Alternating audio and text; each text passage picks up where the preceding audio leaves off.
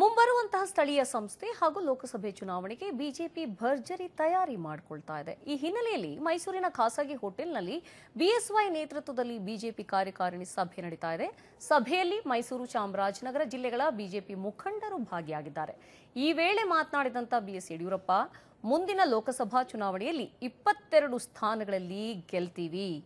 ನರೇಂದ್ರ ಮೋದಿಗೆ ಪ್ರತಿಸ್ಪರ್ಧಿ ಯಾರೂ ಇಲ್ಲ. ಲೋಕಸಭಾ ಚುನಾವಣೆಗೆ, ಸ್ಥಳೀಯ ಸಂಸ್ಥೆ ಚುನಾವಣೆ ಜೊತೆಗೆ, ಜೊತೆ ಜೊತೆಗೆ ಎಲ್ಲವೂ ಕೂಡ ನಾವು ಸಂಘಟನೆ ಮಾಡ್ತಾ ಬರ್ತಾ ಇದ್ದೀವಿ ಅಂತ ಹೇಳಿದರು. ಇನ್ನು ಮುಂಬರುವಂತ ಲೋಕಸಭಾ ಚುನಾವಣೆಯಲ್ಲಿ ಶೋಭಾ ಕರಂದ್ಲಾಜೆ ಸ್ಪರ್ಧೆ ಮಾಡ್ತಾರೆ.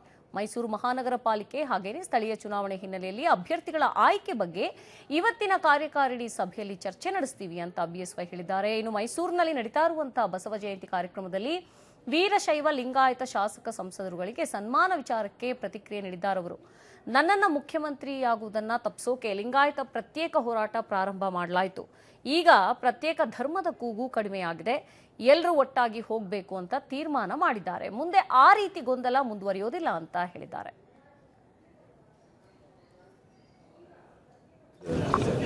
ಲೋಕಲ್ ಬಾಡಿ ಎಲೆಕ್ಷನ್ಸ್ ಎಲ್ಲ ಪ್ರಾರಂಭ ಆಗ್ತಾ ಇದೆ. ಈ ಮೈಸೂರಿನ ಪ್ರಮುಖ ಕಾರ್ಯಕರ್ತರ ಜೊತೆ ಸಮಾಲೋಚನೆ ಮಾಡ್ತಾ ಇದ್ದೀನಿ. ಅದಾದಮೇಲೆ ಚಾಮರಾಜನಗರ ಜಿಲ್ಲೆ ಆ ಭಾಗದ ಚುನಾವಣೆ ನಡೆಯುವಂಥ ಕಾರ್ಯಕರ್ತರು ಮೂರು ಗಂಟೆಗೆ ಇಲ್ಲಿ ಬರ್ತಾರೆ. ಅವ್ರ ಜೊತೆ ಈ ಚುನಾವಣೆ ಗೆಲುವಿನ ದೃಷ್ಟಿಯಿಂದ ಏನೇನು ಮಾಡ್ಬೋದು ಅಂತ ಅವ್ರ ಜೊತೆ ಚರ್ಚೆ ಮಾಡ್ತೀನಿ. ನಾಳೆ ದಿನ ಅವರ ಹುಟ್ಟುಹಬ್ಬ ಇದೆ ನಮ್ಮ, ನಂಜನಗೂಡಲ್ಲಿ. ಆ ಕಾರ್ಯಕ್ರಮ ಮುಗಿಸಿ ಎಸ್ ಈ ಬಗ್ಗೆ ಮತ್ತಷ್ಟು ಡೀಟೇಲ್ಸ್ ಅನ್ನ ನೀಡ್ತಾರೆ ದೂರವಾಣಿ ಸಂಪರ್ಕದಲ್ಲಿರುವಂತಹ ನಮ್ಮ ಪ್ರತಿನಿಧಿ ರವಿ ಪಾಂಡೋಪುರ. ಎಸ್, ರವಿ, ಒಂದ್ ಕಡೆ ಬಿ ಎಸ್ ವೈ ಅವರು ಎಲ್ಲ ಅಂದ್ರೆ ಪ್ರಮುಖ ಮುಖಂಡರನ್ನ ಕೂಡಿಸ್ಕೊಂಡು ಅಲ್ಲಿ ಒಂದು ಸಭೆಯನ್ನ ನಡೆಸಿದ್ದಾರೆ. ಏನೇನೆಲ್ಲ ಇದೆ? ಹೈಲೈಟ್ಸ್ ಏನೇನೆಲ್ಲ ಇದೆ?